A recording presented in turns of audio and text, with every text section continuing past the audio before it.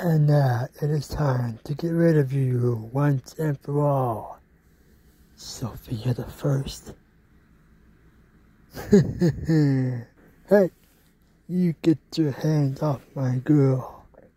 What? But he can't be.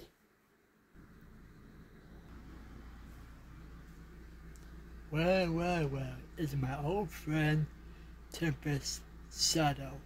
Nice to see you again. Not. Train Boy 99.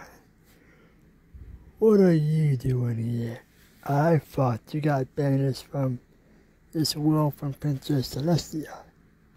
Well, I well, I spoke to her and she gave me one more chance. Now, let go of my girl or else. or else what?